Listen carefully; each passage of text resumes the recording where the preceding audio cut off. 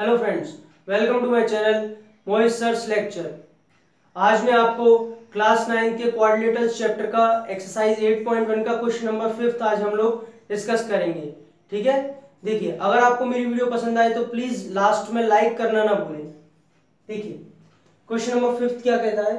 Show that if the diagonals of a quadrilateral are equal and bisect each other at right angles then it is a square मतलब आपसे ये prove करवा रहा है कि आपको शो करना है कि किसी भी क्वाड्रिलेटरल्स के। अभी आपके सामने मैंने फिगर बना रखा है एबीसीडी देखिए, हमेशा एक चीज़ और ध्यान रखिएगा, जिसको प्रूव करवाते हैं मतलब आपसे यहाँ पे क्या प्रूव करवा रहा है स्क्वायर आपसे स्क्वायर प्रूव करवा रहा है तो आपको यहाँ पे स्क्वायर का ही फिगर बनाना होगा, ठीक है? जो चीज़ प्रूव करवा रहा है, इसका मतलब वो वही आएगी। स्क्वायर प्रूव करवा रहा है मतलब स्क्वायर ही बनेगा। तो आप उसी की शेप बना लीजिए पहले, ठीक है? तो देखिए, अब क्वेश्चन का मतलब क्या है कि एक ऐसा क्वाड्रिलेटरल अभी फ़िलहाल में तो ये क्वाड्रिलेटरल है, क्योंकि फोर साइडेड क्लोज्ड फिगर है मेरे लिए तो अभी ये। तो ये क्वाड्रिलेटरल है। तो इस क्वाड्रिलेटरल्स के डायगोनल्स इक्वल है बाइसेक्ट कर रहे हैं राइट एंगल्स पे। तो आपको शो करना है कि ये स्क्वायर होगा।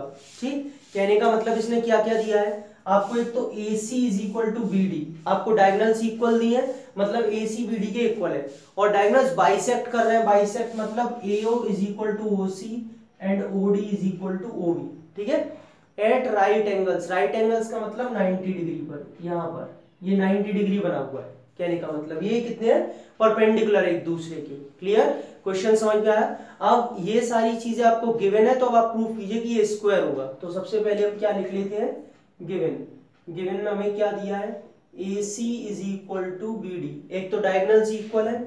डायगनल्स बाइसेक्ट भी कर रहे हैं। A O is equal to O C and O B is equal to O D. ठीक है? ए ओ सी के ओ बी ओ डी के इक्वल है। और क्या गिवन है हमें? हमें ये भी दिया हुआ है कि angle A O D is equal to angle C O D is equal to 90 degree वैसे तो हमें चारों एंगल्स दिए 90 ये भी 90 दिया, ये भी। लेकिन सफिशियंट है, अगर हमने यहाँ दो भी लिखे हैं तो अंडरस्टूड है कि चारों वहाँ पे 90 डिग्री पर ही बाइसेक्ट कर रहे हैं। ठीक है? तो चलिए, अब हमें प्रूफ क्या करना है? हमें प्रूफ करना है कि A B C D is a square हमें ये लेके आना है कि ए बी सी डी जो है, क्या है? स्क्वायर है। कंस्ट्रक्शन कुछ हुआ नहीं है तो जल्दी से प्रूफ देखेंगे फिर कि प्रूफ कैसे होगा। देखिए, सबसे पहले टारगेट सेट करते हैं अपना हम लोग। हमें ये स्क्वायर प्रूफ करना है। मैंने सारी प्रॉपर्टीज़ पहले ही बताई थी स्क्वायर प्रूफ करने के लिए हमें ये प्रूफ करना होगा कि इसकी सारी साइड्स इक्वल है और सारे एंगल्स 90 डिग्री हैं। अगर ऐसा हमने प्रूफ कर दिया तो ये स्क्वायर हो जाएगा। क्योंकि रोमबस की प्रॉपर्टी ये होती है कि सारी साइड्स इक्वल है सिर्फ़। उसके एंगल्स 90 नहीं होते। अगर मैं इसकी सारी साइड्स को इक्वल प्रूफ करके, फिर उसमें एक एंगल भी अगर मैंने 90 प्रूफ कर दिया then it is a square clear तो देखिए, अब उसी की तरफ़ चलेंगे। तो सबसे पहले इसे सारी साइड्स को इक्वल कैसे करते हैं? आप में से बहुत सारे बच्चों के कमेंट्स आते हैं। सर, सारी साइड्स को इक्वल कैसे प्रूफ करते हैं? तो वो ध्यान से देखिए, आज मैं बता रहा हूँ, सारी साइड्स को इक्वल कैसे प्रूफ करते हैं, ठीक है? सारी साइड्स को इक्वल प्रूफ करने के लिए पहले इसे पैरेललोग्राम प्रूफ कीजिए, क्योंकि पैरेललोग्राम से एटलीस्ट ऑपोजिट साइड्स तो इक्वल हो जाएँगी, उसके बाद सारी हो जाएँगी, ठीक है? तो देखिए पैरेललोग्राम प्रूफ करने के लिए मैं ट्राइंगल ए ओ बी और डीओसी की हेल्प लूँगा। एओबी और डीओसी को कॉन्ग्रेंट फिगर्स प्रूव करूँगा मैं। कैसे? In triangle AOB and triangle COD इसमें क्या हो रहा है? देखिए AO is equal to O C AO is equal to O C ठीक है? कहाँ से आया? एओ ओ सी गिवन है, हमें दिया हुआ है। OB is equal to OD OB is equal to OD ये दोनों कहाँ से आए? गिवन। हमें ये दोनों चीज़ें गिवन है। और क्या गिवन है? ये वाला एंगल इसके एंगल के इक्वल होगा। क्यों? दोनों ही वर्टिकली अपोजिट एंगल है। Angle A O B is equal to angle C O D क्या? वर्टिकली ऑपोजिट एंगल चाहे तो आप दोनों 90 भी लिख सकते थे, क्योंकि ये भी 90 है, ये भी 90 है। और वर्टिकली अपोजिट एक ही बात है, ठीक है? तो कौन सी इसमें प्रॉपर्टी लग रही है? आप आराम से देख सकते हैं साइड एंगल साइड क्लियर है? साइड एंगल साइड से दोनों ट्राइंगल्स क्या है? कॉन्ग्रेंट हो रहे हैं. Therefore triangle A O B congruent to triangle C O D by S A S congruency clear चलिए, अब आगे देखते हैं. अगर ये ट्राइंगल्स कॉन्ग्रुएंट है तो क्या हो जाएगा? यहाँ पे ये वाला एंगल इसके इक्वल हो जाएगा. हो जाएगा? ये एंगल इसके इक्वल होगा बाय सीपीसीटी और ए बी जो साइड है, वो भी सी डी के इक्वल हो जाएगी by C P C T तो मैं लिख रहा हूँ so angle O A B is equal to angle O C D ठीक है? Angle O A B is equal to angle O C D and और क्या चीज़ एक और इक्वल लिया हमने? A B is equal to C D दोनों किससे आए हैं? सीपीसीटी से। ठीक है? सीपीसीटी से ये दोनों इक्वल है ए बी और सी डी और angle this is equal to angle this लेकिन आप ध्यान से देखिए converse of alternate interior angles theorem आपने पढ़ी होगी, ठीक है? ये कोई भी दो लाइंस है ए बी और डी सी और ए सी एक ट्रांसवर्सल है तो ये एंगल्स जब इक्वल है, ये वाला एंगल इसके, ये तो लेकिन ऑल्टरनेट इंटीरियर एंगल्स हैं, और अगर ऑल्टरनेट इंटीरियर एंगल्स इक्वल होते हैं तो लाइंस आर पैरेलल कहने का मतलब अगर angle O A B is equal to angle O C D है, जो मैंने यहाँ पे प्रूफ किया है। But these are alternate interior angle लेकिन ये तो कैसे एंगल्स हैं? ऑल्टरनेट इंटीरियर एंगल और converse of alternate interior angle theorem के अकॉर्डिंग अगर ये एंगल्स इक्वल होते हैं तो लाइंस आर पैरेलल मतलब A B parallel to D C तो हम क्या लिखेंगे? But these are alternate interior angles मैं इसकी बात कर रहा हूँ, इनकी एंगल्स की साइड की नहीं कर रहा। एंगल्स इक्वल है, इसके बारे में लिखा है। But these are alternate interior angles therefore A B parallel to D C A B क्या है? डी सी के पैरेलल हो गई। अब आपको मैंने क्वाड्रिलेटरल्स में सबसे फ़र्स्ट वीडियो में पहले बताया था कि पैरेललोग्राम की प्रॉपर्टी कैसे प्रूफ की जाती है। अगर एक किसी भी क्वारिलेटल की one pair of side equal है और पैरल है then it is a parallelogram मतलब ए बी डी सी के इक्वल है? यस yes, ये रे और ए बी डी सी के पैरेलल है? यस ये भी। अब ये भी प्रूफ किया। और कोई भी वन पेयर ऑफ़ साइड एक पेयर अगर इक्वल भी है और पैरेलल भी है किसी क्वाड्रिलेटरल का तो वो पैरेललोग्राम हो जाता है, ठीक है? मतलब A B C D is a parallelogram so हमने प्रूफ कर दिया। So A B C D is a parallelogram ये लीजिए। ए बी सी डी क्या प्रूफ हो गया? पैरेललोग्राम प्रूफ हो गया। यही हमारा टारगेट था। समझ में आया? तो यहाँ पे ये प्रूफ हो गया। अब क्या करेंगे? इसके आगे देखिए।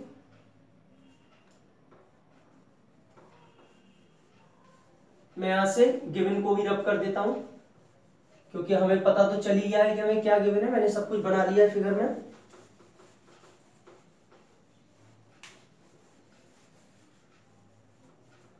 देखिए, अब हमने ये प्रूव कर दिया कि एबीसीडी एक पैरेललोग्राम है। अभी आपके सामने किया, अगर एबीसीडी एक पैरेललोग्राम है therefore A B is equal to C D and AD is equal to BC. Equation number one, equation number two. क्या opposite sides of a parallelogram are equal. ठीक है क्योंकि ऑपोजिट साइड्स क्या होती है parallelogram की equal होती है और इक्वल होती है तो हमने क्या लिखा है A B is equal to D C वो तो वैसे कॉन्ग्रुएंसी से भी आ रही थी और A D is equal to B C opposite side क्या हो जाएगी? इक्वल और मैंने इन्हें फ़र्स्ट और सेकंड इक्वेशन मान लिया, ठीक है? अब देखिए, कैसे भी मुझे एक एडजस्टेंट साइड को और इक्वल प्रूफ करना पड़ेगा, क्योंकि अभी अपोजिट साइड इक्वल है। अगर मैं कैसे भी एक एडजस्टेंट साइड को और इक्वल प्रूफ कर दूँ तो all the sides are equal उसे भी मैं समझाऊँगा आपको एक्स लेकर के कैसे, ठीक है? पहले इधर देखिए। एंगल एओ ट्राइंगल एओडी और ट्राइंगल सीओडी को कॉन्ग्रुएंट करके पहले इन एडजस्टेंट साइड्स को आप इक्वल प्रूफ कीजिए, ठीक? तो क्या लिखेंगे? Now in triangle AOD and triangle COD ठीक है? क्या क्या इसमें कॉन्ग्रुएंसी के लिए हमें चाहिए? देखिए OD is equal to DO कहाँ से आया?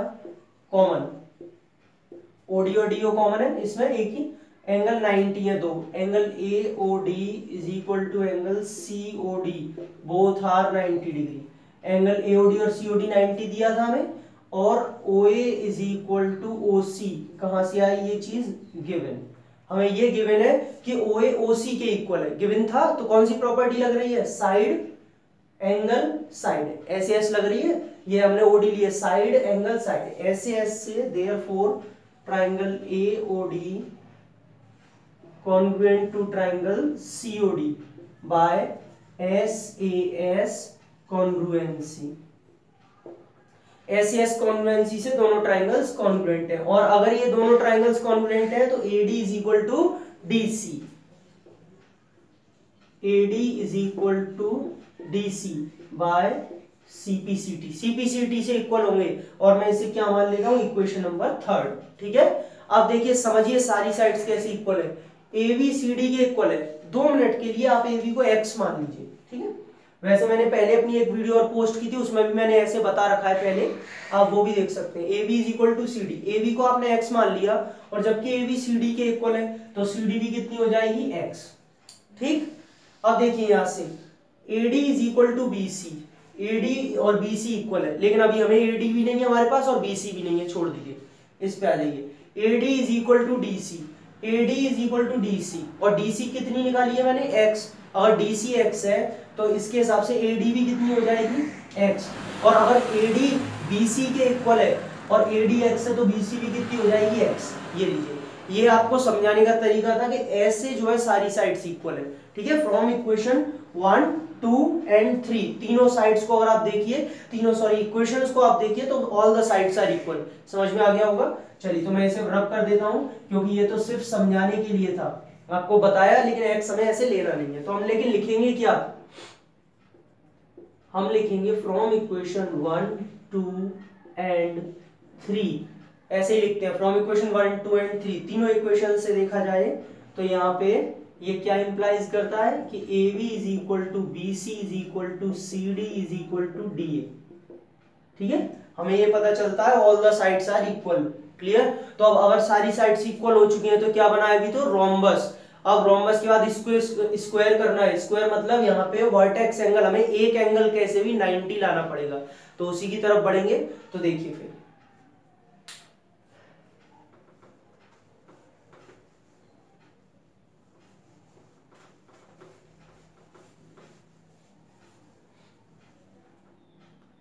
देखिए। Further in triangle triangle choose करिए, चलिए। वर्टेक्स एंगल 90 लाना है ये यहाँ पे। तो कौन कौन से ट्राइंगल्स लिए जाएँगे? मैंने पहले भी बहुत बार बता चुका हूँ कि जब भी आपको यहाँ 90 लाना हो तो एक तो ये ट्राइंगल लीजिए ए बी डी और एक ए बी सी लीजिए आप, ठीक है?